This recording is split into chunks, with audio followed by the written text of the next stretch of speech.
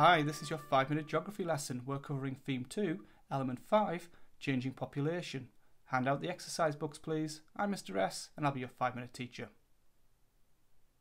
By mid 2018, the UK's population had reached 66.5 million people.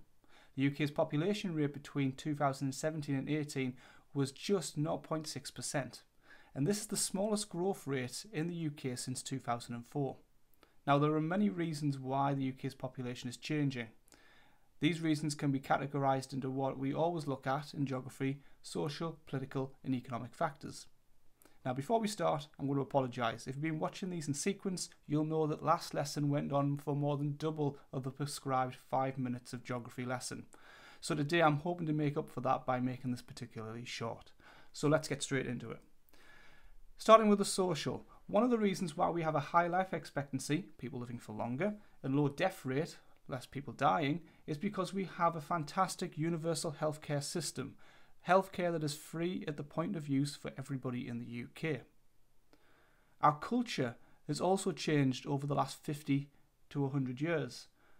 Women are now being educated for longer and are working or having careers where they wouldn't have had that 50 years ago. Maybe it's even uh, shorter than that.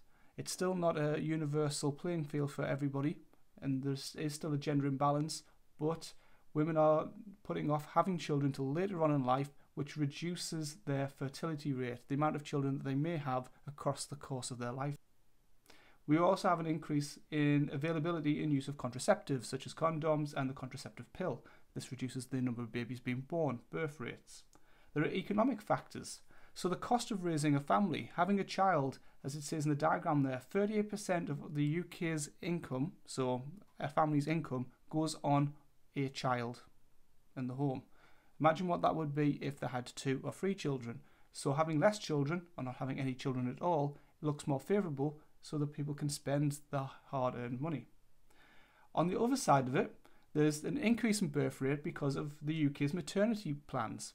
This allows uh, women to have time off paid from work so they can raise a child. This has also been extended to include paternity pay, which includes fathers having time off as well, with the government trying to increase our birth rate. Political factors such as migration, those that usually come to the UK are of working age, which means they're of a young age enough to have a family, so more likely to have a family and increase the fertility rate. And then vaccinations. We have easily accessible, free, again, vaccinations for young children for common childhood diseases, which reduces the infant mortality rate. And we have a whole host of vaccination programs throughout the course of a person's life to try and reduce the risk of catching some of these really nasty diseases that once plagued us in the past. So that reduces our uh, death rate. Well, that's it for today but continue your revision by completing the now try tasks for homework. Class dismissed.